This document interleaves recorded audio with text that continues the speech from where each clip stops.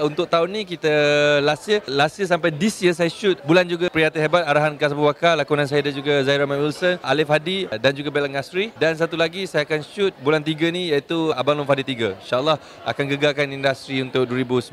Saya tahu filem-filem tu antara filem yang dinanti-nantikan dan menjadi perbualan ramai. Oh, saya lupa cakap. Filem yang bakal keluar juga iaitu Bikers Kental 2 pada bulan Mac ni insyaAllah.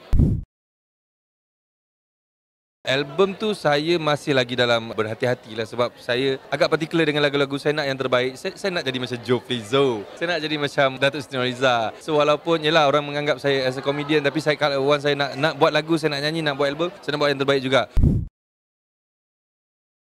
Perkahwinan saya, saya lihat mungkin mungkin eh mungkin dalam perancangan kan tapi tak tahulah macam mana pada saya saya hanya mampu merancang. Ah awak nak saya jawab ya kan? Sabar. Kalau tiba masanya saya akan umumkan saya akan war-warkan. Percayalah, percayalah. Kadang-kadang uh, perancangan tak perlu ada calon. Rancang dulu baru kita tengok calon yang yang selayaknya. Kadang-kadang kita kita perlukan calon yang layak untuk kita tapi kadang-kadang adakah kita layak untuk dia?